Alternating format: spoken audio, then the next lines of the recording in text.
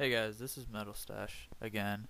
Um, this video I'm going over uh, my more complex unit movement. Let me move this recorder out of the way real quick. Um, the video before this, I kind of put these out of order, but neither one of them was really uh, more important to do versus the other. Uh, I'd done unit avoidance before my more complex movement, but either one, it doesn't really matter. Uh, so to get into it, uh, it's not really much to go into my unit itself, because um, I'd gotten into that in my unit avoidance video, and uh, a lot of that is just changing over to a custom script instead of the character controller. So going into my code, most of it uh, I changed in the player controller itself. The uh, player controller's movement command, which is the right bu uh, mouse button, uh, has had most of the change.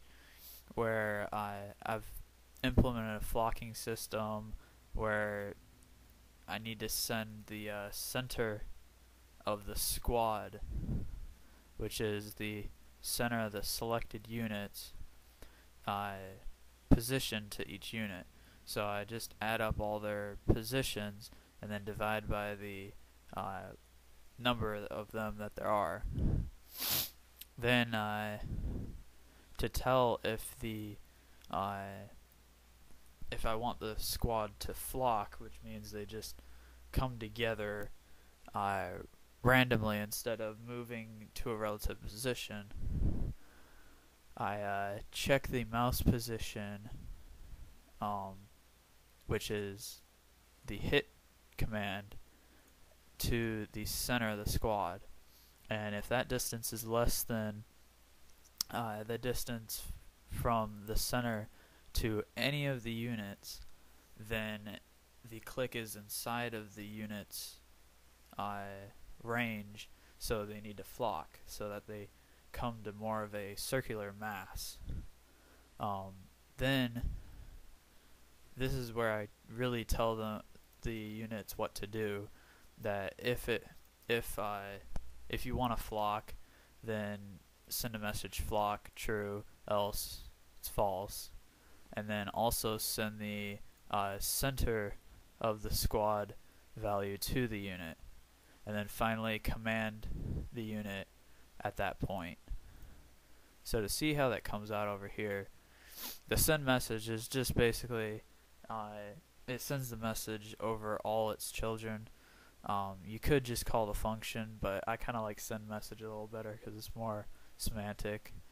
Um, so you get the relative center here. I save that in squad center. I get the uh, flocking variable here. So if it's flocking, it knows that it needs to flock. So that comes into play when it needs to move. Um, so if it's not flocking, that means it's just moving to. Uh, it's like they're already a squad, and they need to move to a point uh, somewhere on the map. So what I do is I get the offset, which is the position um, difference between its position and the squad center.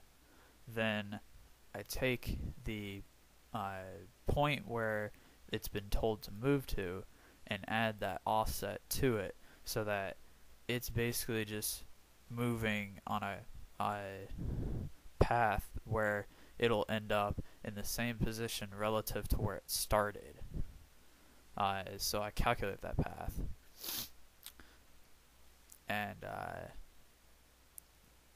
that's about it for that. I mean, there really isn't much to it. I just kind of wanted to go over that with you guys um, to see how it happens.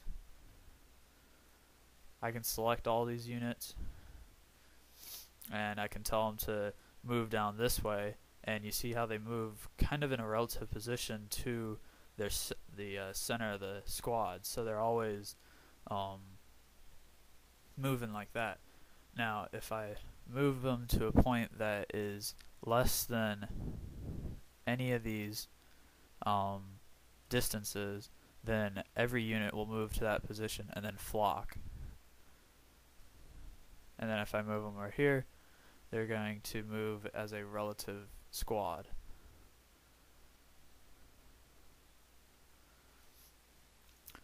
I know this is kind of shorter than most of my videos, guys, but it really wasn't that big of a subject, but I think it it's a uh, cool thing to look at just because it's pretty simple to implement, and I kind of noticed it from uh, StarCraft the way they did it that if you moved units around the map, they moved like a squad, but if you moved them towards each other, they flock.